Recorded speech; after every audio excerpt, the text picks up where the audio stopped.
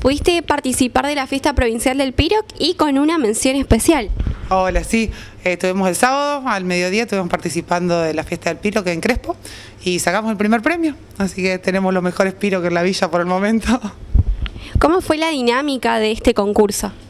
Arrancó a las 9 de la mañana, teníamos que estar allá para presentar todos, a ordenar el stand, decorarlo, eh, organizarlo, dejar todo preparado lo que íbamos a usar sobre la mesa, todo hasta las 11. A las 11 pasó un jurado que evaluó la decoración, que miró todo como que, que estuviera bien ordenado.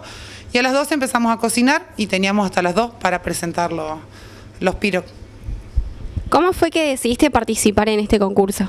Nosotros escuchamos una radio todas las mañanas y mi hermana escuchó que había concurso y dice, vamos a presentarnos, dice. Y bueno, empezamos a comentar con clientes, decían, no, ustedes tienen que presentarse, ustedes son los más ricos, tienen que presentarse, chicas. Y bueno, como que nos entusiasmó y bueno, arrancamos y nos presentamos. ¿Hace cuánto estás así con esta especialidad de hacer los piroc? Yo de hacer los piroc desde que tenía 15, 16 años. Acá en la roticería eh, hace cuatro años que estoy yo con mi hermana. Pero yo hice siempre, como para decirte, rebuscar el mango, lo hacíamos, lo hacíamos para vender el, el piroc. ¿Cuántas personas participaron? ¿Eran todas acá de la zona?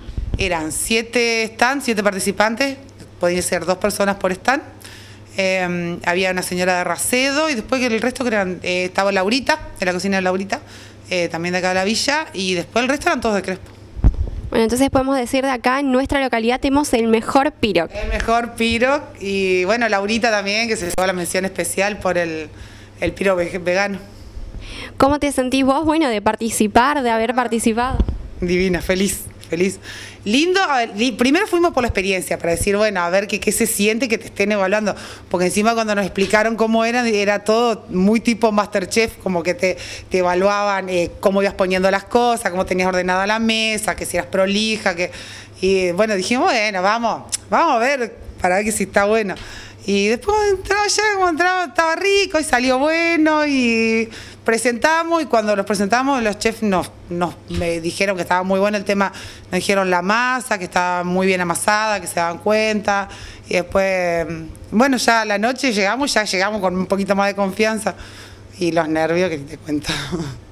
Bueno, Daniela, tenemos acá el certificado que ganaste, si nos puedes mostrar, y también qué premio ganaron por, por este piro. Ahí está, este es bueno, certificado del primer premio y nos dieron una estadía en Córdoba para dos personas. Bueno, Daniela, para quienes quieran probar el mejor piroc, ¿dónde estás ubicada para que vengan a probarlo? Eh, la tía Roticería, Linares Cardoso 25. Hacemos todos los días, se amasa todos los días, así que siempre son bien fresquitos. Así que bueno, los esperamos cuando quieran. Muchísimas gracias y felicitaciones. Gracias, gracias, gracias.